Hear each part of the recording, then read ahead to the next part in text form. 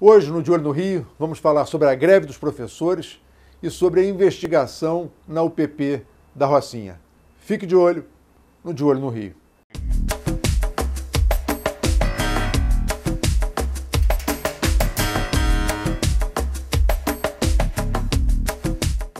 Vocês sabem o que é a soberba?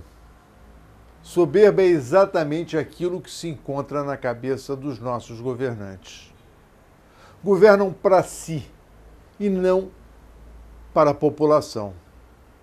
Governam única e exclusivamente voltados para os seus interesses particulares e não para o interesse daqueles que trabalham em favor da população. Foram eleitos com uma plataforma e executam outras medidas que nada têm a ver com aquilo que disseram que iriam fazer. Na verdade, o que nós estamos assistindo é cada vez maiores desmandos na administração pública. Agora, temos uma greve de professores que já se prolonga no tempo e no espaço.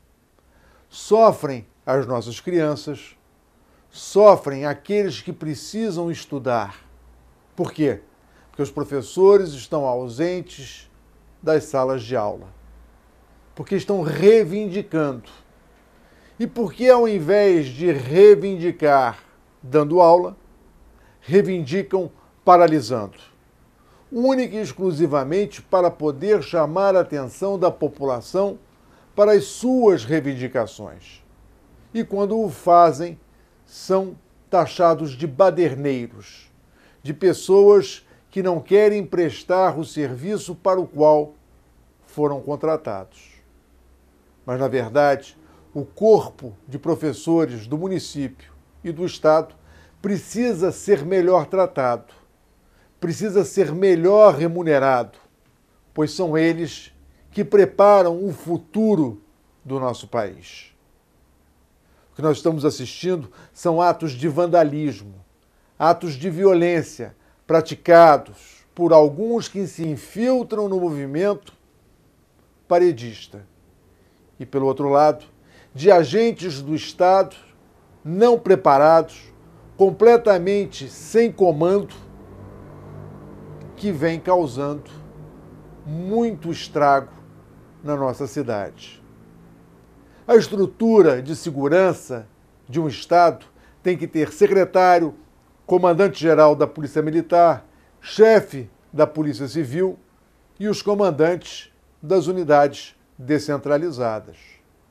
Mas existe uma responsabilidade em treinar, preparar e adequar os homens para enfrentar esse tipo de problema, que não é um problema comum e é um problema que vai voltar a se repetir cada vez mais, porque o povo descobriu que manifestando e indo às ruas faz com que os governantes acordem e enfrentem a situação de frente.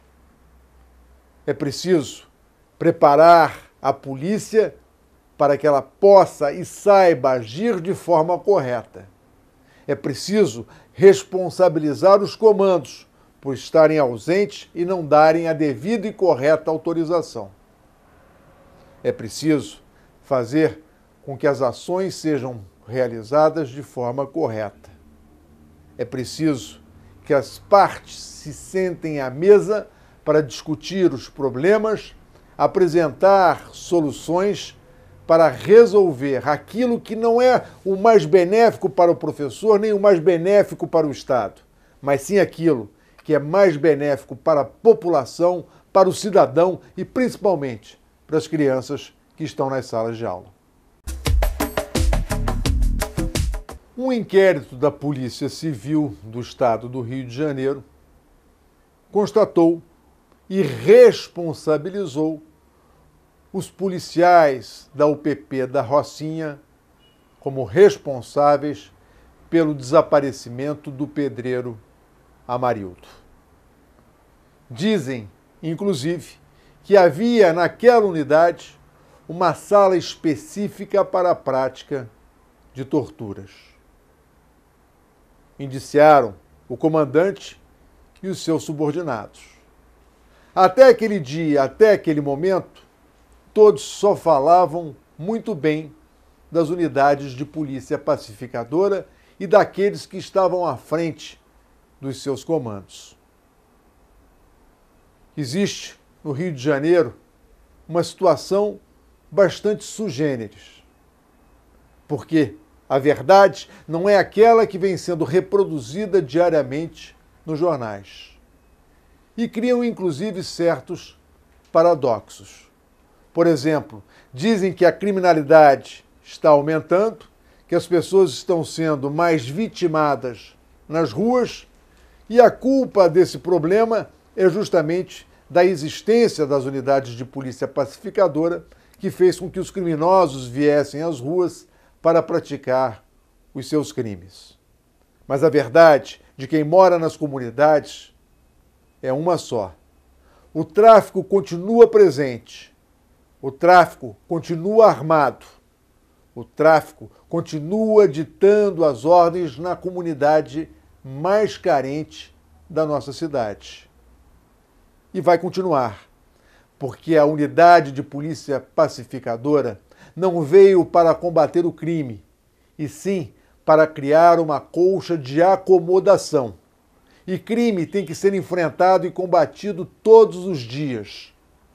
Muitos aplaudem a iniciativa.